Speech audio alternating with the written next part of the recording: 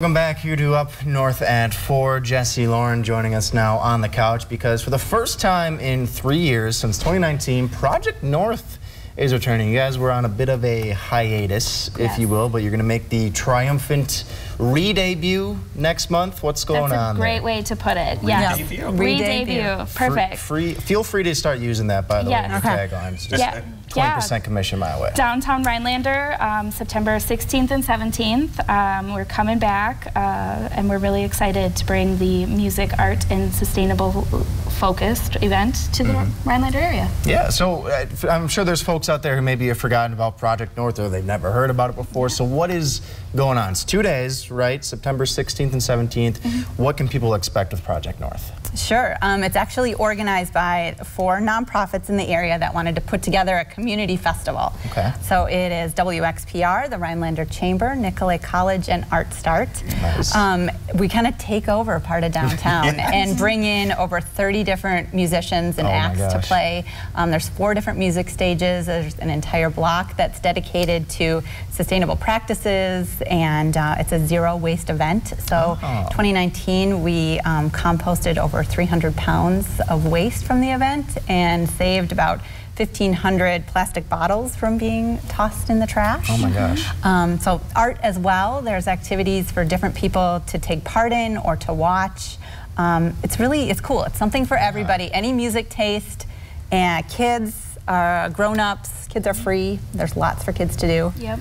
Awesome. All right, you take over downtown. Uh, we have lots of people on this couch who talk about, you know, festivals and have food and drinks, that kind of stuff. Um, this one, though, has a message. There's a sustainability message in here.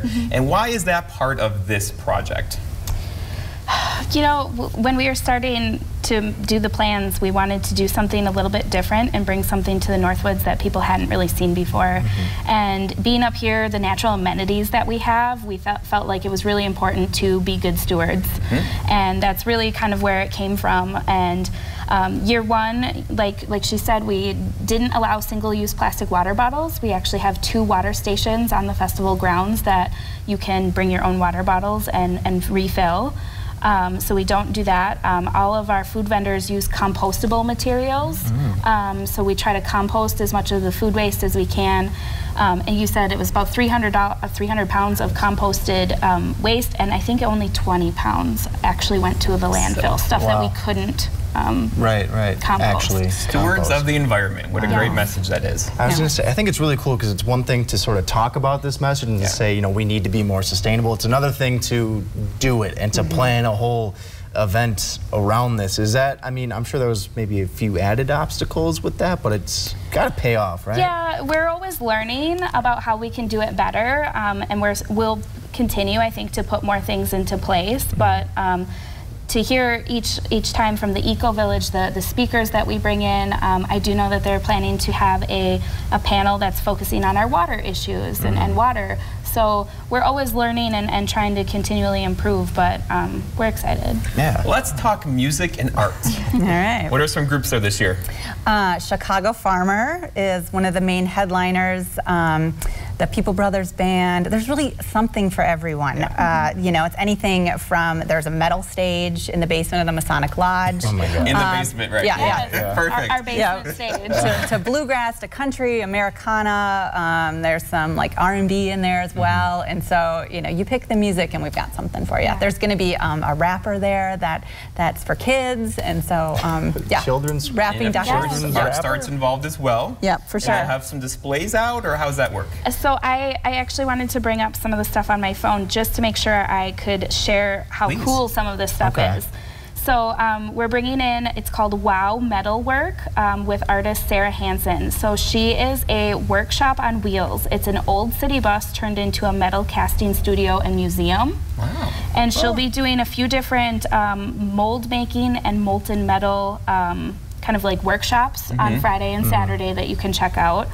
Um, we'll have the Three Rivers Fiber Shed coming in doing a mending bar. So clothing is uh, something that a lot of people throw away. Yes. Rather I've than um, throwing it away, we're urging people to bring in, learn some mending skills, repair, w- working with others to repair your clothing Mm-hmm. rather than putting that in the landfill. I landfill. never thought of that. I never would have Yeah, and, and then School of the Arts, which Melinda shared a few weeks ago Yep. with you guys, um, they're also going to have some pop-up workshops um, on the Art Start outdoor stage. Um, we have an immersive short film um, that you can check out at WXPR, and then there's going to be like a 10-second film festival, which we'll be putting out there. Love this. Um, songwriting contest, um, a little bit of everything. Yes, say it's, that. it's- Sure. it's so cool. I think Jeff and I might have to uh, Yeah, enter we're the going. Songwriting contest. Just, uh, I don't know if that'd be any good, but uh, we appreciate you guys. It sounds like a super fun event, and I'm sure we'll be chatting more in the future. But in the Sounds good. meantime, we'll have to take a break here at Up North at 4. We'll see you on the other side.